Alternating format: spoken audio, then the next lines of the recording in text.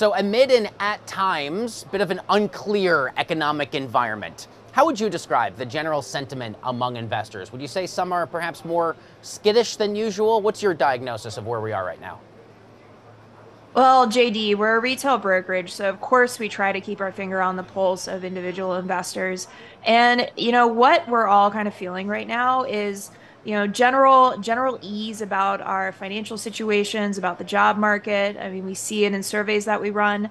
But at the same time we feel skittish about what's happening around us which makes a lot of sense. I mean the world is changing very quickly. Interest rates are quite high. And you know some parts of the economy don't feel great and so to that point, according to a recent retail investor survey data that you and your colleagues at eToro put together, and they're also they're always amazing data points. Uh, over half of respondents are confident about their financial situations. Do you expect that to last?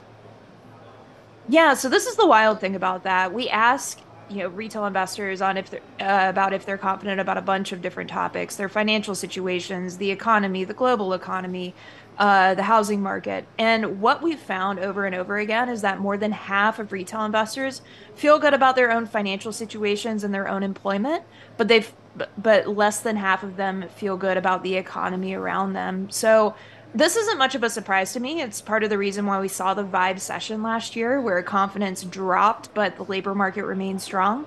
So I think we're just seeing a continuation of that. And I actually think with inflation coming down, if it stays down, then we could see confidence continue to improve.